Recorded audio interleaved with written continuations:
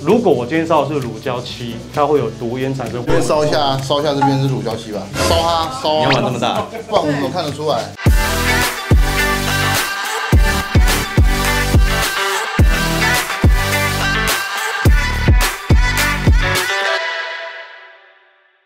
好，各位朋友，大家好，欢迎收看三五香赏我是 Ted，我们回到住所打造全记录，旁边我设计师 Win，因为我家已经重新装潢了嘛，他现在的阶段在，目前在做涂料的部分，对。哎，我们边走边进去看好了。，OK，好。现在这个是现况啊，那可以看到施工的当下就是这么的凌乱，天花板都做完了嘛，所以对对对受限于一些天花板，所以到处都是做保护啦。我们的工种有时候会穿插在一起，为了让工期可以尽快的进行。不过很快就要好了，其实上次跟你讲的完工时间，提早超过两个礼拜。对对对。其实今天真的主要要跟大家分享，我从开始施工到现在啊，是完全没有来过现场的，都是他们的设计师来现场，然后拍今天做什么工，然后进度什么放在我们讨论群组里面。对所以今天是我第一次来到现场，他说要特别介绍一个涂料，是不是？现在市面上的涂料主要分成树脂涂料跟矿物涂料这两种。今天现场的这家厂商主要是做矿物涂料的部分，那我们就交给他们来介绍这个产品。走走，去去去，他们正在施工，我们来看一下直击现在施工的过程。哎，hello，hello，嘿，退的，退的，你好，你好，你好，我考验涂料的业务叫 Chris，我们现在正在施工啊，那你刚进来有闻到一般乳胶漆的味道？没有什么感觉，因为我们窗户都开着嘛。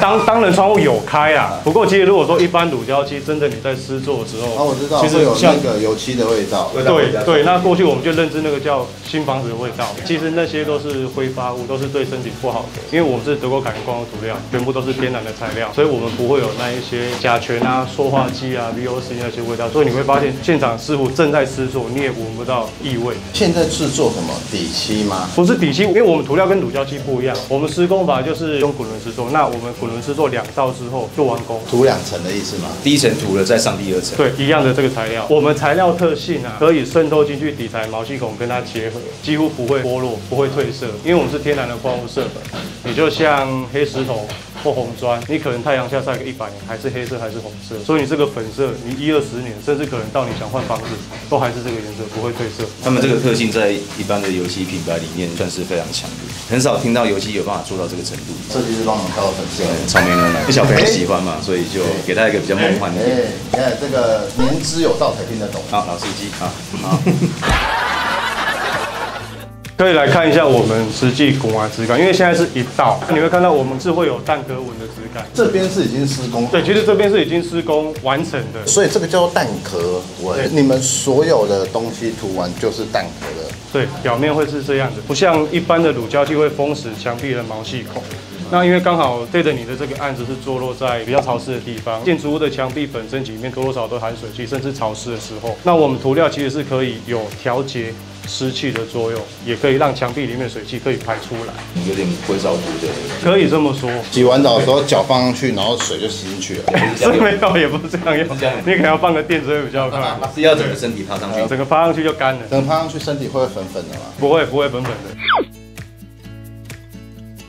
因为市面上有些乳胶漆，可能你们看广告或甚至去 B N Q 买，会看到说它有标榜它有绿建材，但其实当你们挑选别的颜色的时候，你可能会发现它只有白色有绿建材，嗯或可能只有几种颜色。颜色有限制，所以你们家有多少种颜色？诶，总共有两百七十个颜色，全部都符合绿建材。矿物涂料意思就是会摸起来不像一般平的的意思嘛？并不是说因为矿物涂料摸起来不会平的，我我这边可以让你解释一下。现在市场上你们会看到有些厂商跟你们说，他们也是矿物涂料，但是其实一般业主我们很难去分辨说到底什么是矿物涂料，什么不是真正的矿物涂料。简单，如果家里有这个喷灯。家里只会有那个瓦斯炉而已。或打火机啊，也可以，或者我直接烧给你们看，因为这是我们样板，这是一般的细酸钙，一般细酸盖板装修在用的板材，我把我们的涂料直接涂在上面。当我用火烧的时候，不会有毒烟。或不会有臭味，因为我就是矿物涂料，就是食材。如果我今天烧的是乳胶漆，它会有毒烟产生。这边烧一下，烧一下这边是乳胶漆吧？烧它，烧你要玩这啊！么大？不然我们怎么看得出来？它可能等下会有焦黑，然后会有很臭的。塑胶烧焦的味道跑出来。就是火烧塑胶袋的那个味道。，对，所以说发生火灾的时候，主焦器它散发出来的毒烟，其实人跑得比火快，但跑得比烟还慢。很多状况人是被烟先晕倒了。对对对对对，通常都被呛死的嘛，不是被烧死的。对，那所以我们涂料如果真的发生火灾是比较安全的。所以就是有这个特性啊。对矿物涂料有颁发什么样的证书证书吗？有吗？台湾的涂料是没有所谓的规范去规范耐燃这一块，但是我们在德国是符合一级耐燃的材料。很多都在市面上都讲说我们也是矿物涂料什么，但是其实就有像纯果汁跟浓缩果汁的概念，它是十趴的果汁，他也说我是果汁，但是我们是百分之百的时候，我们才敢说我们是真正的果汁。矿物色粉跟矿物的溶液总共是要超过九十五趴才会是所谓的矿物涂料。但别人是只要一点点，他就有说他也是，对不对？麻烦政府机关规范一下，不然消费者也搞不清楚。这边是我现在的主卧房，但主卧房其实跟我们后来已经有非常大的转变，之后一起给大家看，可以看得到原本的那个蓝，然后现在换成这种都是灰蓝啦，这个蓝都是很特殊的颜色。不是一般正规人家会用的。介绍一下，就是他们油漆盖色的一个特性。我们如果要把漆上在比较深色的墙面上啊，一般的水泥漆或是乳胶漆，它可能需要上个五六次，它才有办法完全。哦，我知道，我知道，像有些人涂白墙，他们要涂很多层。对对对，因为原本的颜色太深了，你会盖不过去。所以这个你们也是上两层就结束了嘛？因为我们矿物涂料跟乳胶漆不一样，就算是这么深的颜色，我们要盖色一样是两道就可以过色。别的厂牌这么深的颜色，可能会跟你说我是不符合绿建材的。打断一下，你们两百七十个颜色是原本的颜色，那可以其中两种还是三种混在一起尬在一起再涂吗？我们色卡是两百七十个颜色啊，那所以我们出就出这两百七，但但我没办法规范业主或设计师要不要自己去混色。如果他对色彩敏感度可以自己调配的话，出两百七十个颜色是因为如果未来你要修补的时候，你再叫那个颜色，绝对会是准确，会有色差。经过人工调的，如果留下来的漆已经干掉，或者是已经不能使用，或是用完的情况下，对日后要再找同样一模一样颜色的漆，就比较没办法。几乎调不出来，比例会不一样。除非要记录那个调配的配方。用量杯调一下，对。不过其实我们两百七十个颜色已经很够用，所以这个也是原本就有的颜色。也是原本就有的颜色。啊，这颜色也是设计师挑的啊。我跟你说，就是请设计师就是这样子，我大概跟他讲一个大概，然后其他都是他挑。就像刚刚那个小朋友房间的那个草莓草莓牛奶嘛，对，好。好，也反正也是这个概念了。OK，凯恩矿物涂料的老板娘也到现场了，好好帮我们介绍一下这个特殊漆种，以后大家可以多多用在自己家的装潢上面。也听说价钱没有差多少，没有，真的是所谓的高贵不贵，而且我是百分之百德国制造原装进口。自我介绍一下。大家好，我们德国凯恩矿物涂料呢，在今年一百四十二年，在台湾已经代理十八年。我们强调在室内是健康无毒，所以我们是完全的零甲醛。零的塑化剂，VOC 所谓的挥发性有机物是全球最低，我们的标准远远高于台湾的绿建材。甲醛有一定的标准，但是我们大家如果看各个厂家的检验报告，它其实会告诉我们甲醛测不出，或者是甲醛未检出，因为它的检验方式是在个密闭的空间里面，所谓的涂料打开来用 sensor 测空气中的含量，所以它未检出。我们在德国的做法是，我的涂料在这边直接瓶盖打开，我的 sensor 是摆在瓶口上贴在瓶口上面去测，而测出来是零甲就醛。那个意思就是说，很像在打开，然后用鼻子一直吸的那种感觉。它是用这样的标准去测的。。是那另外在 VOC 我们所谓的挥发性有机物，一般人可能不大了解对。好，我简单的比喻，像指甲油，为什么指甲师都要戴口罩？因为那个就是闻到很强的味道，那个就是属于所谓的挥发性有机物。甲醛跟挥发性有机物目前已经证实是致癌，而且是诱发过敏的来源。所以这也是常常市面上一直在打甲醛测不出。对，但是测不出，并不代表它零甲醛或者没有甲醛。那另外我刚刚提到的 VOC，是我们去买涂料的时候，桶罐身上都有注明它的含量是多少。根据绿建材的标准，每公升不能超过两百公克。在所有的卖场，我们大家去看那个标识嗯，它都会注明 VOC 标志。二十八很多呢。我们的是小于一公克。用我们家的涂料，你只要进到这个空间里面来，你完全是无毒无味不过敏，所以它的健康才会有保障。使用我们产品有些特定的族群，医生或者是过敏的人，像我是过敏，但我没有过敏到那么严重。有人是一进到装潢的空间里面，皮肤会有痒痒点痒痒嗯或脸会红红那这种他们就要去慎选。所谓维持空气品质里面最大面积的，就应该是涂料。还有一个族群是家里有小孩儿或者是老人家，那个都是属于抵抗力弱一点的，他们会希望能够提供这样子的空间给他们。最后一个群组很奇怪，他们是高科技的工程师，大部分新族哦。我就问他说：“哎，你们为什么会想要买我们家的东西？”他说：“因为我们常常跟 chemical 在一起，化工的啦，他们是很多。”所以他说：“我们了解所谓的天然对我们的。”重要，他们知道那个甲醛多么可怕。对对对，在我们的涂料来讲，会让居住的人他会有个舒适的空间，不会因为闻到或者是触摸到会让我们有身体上的不舒服。他们没有很认真在宣导，这是我们的错了哈，因为我们的东西在德国一百四十三年十七年带入台湾的时候。我们提供的是因为有室内有外墙，室内标榜是健康。对，其实，在过去的时候，大家都在强调环保的时候，我们就强调健康。但后来我们现在发觉，强调自己健康的建材太多。嗯哼。可是你是不是真的健康？我们作为专业，应该要给所有消费者一个正确的知识，跟我们要教所有的消费者一个判别的方法，让消费者自己去决定。判别方法，我们还真不会判别。只能烧吗？哎，不，烧那个太也太离谱了。比如说我们在产品的说明上，我们其实看到它的成分说明，在欧洲真正的矿物涂料，它会要求所有的有机物含量一定要小于百分之五。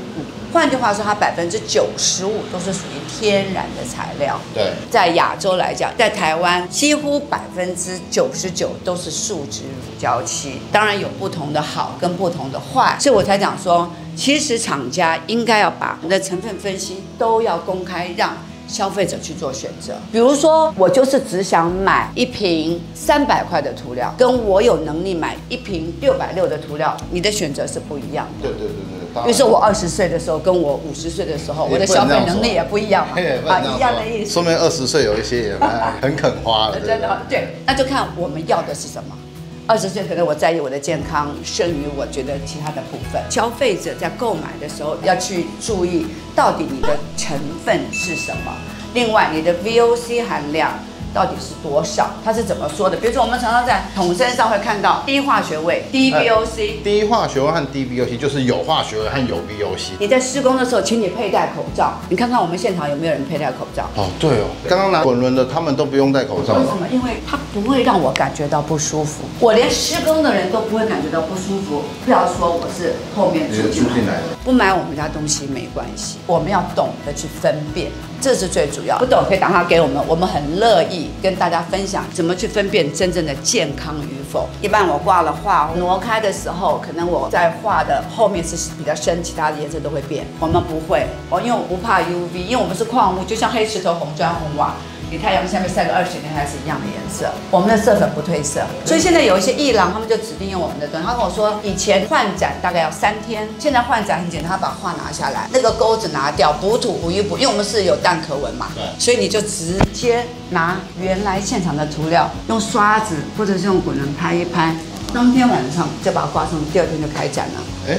板娘，那你们的涂料也可以涂建筑物外面也？我们建筑物外面其实做的更多，因为我们在建筑物的外墙，我们保护的是十年的不剥落跟十年的不褪色，所以在这个状况之下呢，有一些比较有理想的建商，比较愿意对客户负责的建商，对，愿意跟客户做一辈子朋友的建商，他们就会买我们的涂料。那如果一些建筑物外面是石材的话，我们这涂料上得去？基本上我们是上得去石材，但是在台北的建筑设计，它有的时候会搭配，对对，说是砖啊，哎，砖对，或者是世代是用我们的。我们也在台北是有几个案子。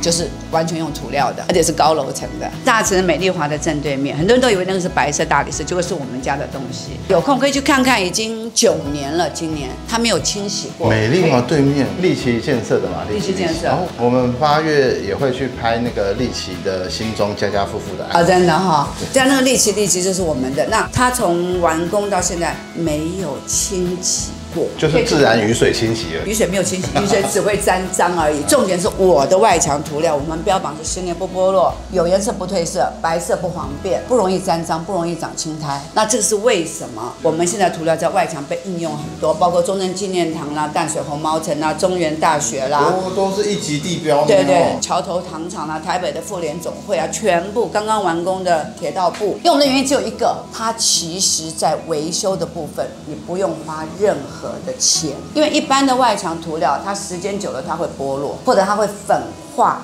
甚至它会褪色，可是你用我的东西，你完全没有这样的疑虑。哦，所以十年保护啊。其实原厂是二十年，台湾讲十年，已经很多人跟我说，哎，他们在吹牛。哦。但是因为我在台湾确实有超过十三年没有剥落、没有褪色的案子，所以我们现在是保护十年。原厂给二十年，可是因为台湾的气候跟德国也不太一样。因为比如说我们的日照时间、温度、湿气，确实可能都不一样。纬度跟德国也不一样。对，那对我们来讲，对待每一个客户都是用负责任，帮助他解决他不想面对的问题。因为我自己做营造出身，所以我自己知道说我要什么样的厂商。在外墙部分来讲呢，包括室内，我们室内大概就。是比一般最高级的乳胶漆一瓶贵两百二十块钱。好了，我帮你把你们的资讯放在这边。对对对对对。你今天对我们介绍这种矿物涂料很有兴趣的话，可以上他们的网站，有更多更详细的，包含一些证书什么的。都都有都有。那就是说，在室内的涂料，我们都是可以搭配设计师